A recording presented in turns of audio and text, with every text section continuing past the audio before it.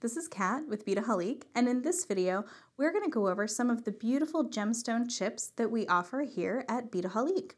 Now this is just a few of our selection that we have, so but I just wanted to kind of pull them out so you could really see the variety of the sizes and styles that we have.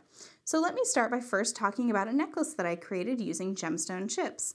Now here I used the lapis, the aventurine, and the carnelian, and I just love the way they come together in a really organic feel.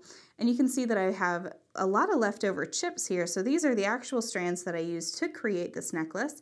And this is just a really beautiful style. Underneath each of these is a color of griffin silk that matches the beads. And then I use these aromatic wood beads up at the top.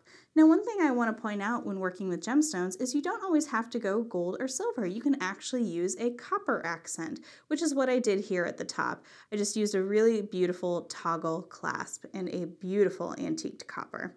So just really kind of makes the whole design really nice and warm.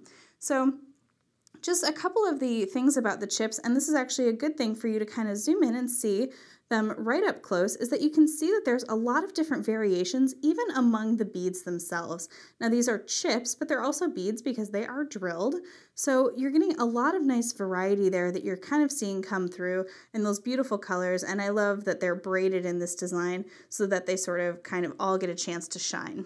So speaking of gemstone chips, I just kind of want to point out the variety of the sizes. So I sort of broke apart my turquoise here, and I also have my amethyst and my rose quartz. So I'm just going to kind of break this apart so you can really see the different sizes and shapes, and it truly is just a really great organic uh, bead to use in your designs.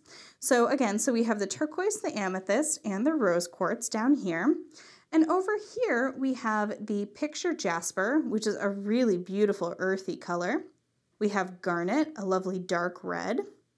We have tiger's eye, and you see a lot of that really nice flash in these ones are really beautiful. We have goldstone, and then we also have crystal quartz and labradorite. So you're getting a lot of great variety. Again, we have very earthy tones and then we have very colorful tones. So I kind of separated them out on my table here to show you. But I just love that you're getting a ton of gemstones. So this is a, a strand that you're actually gonna get here. So you can just see in my hands how much gemstone you're actually getting.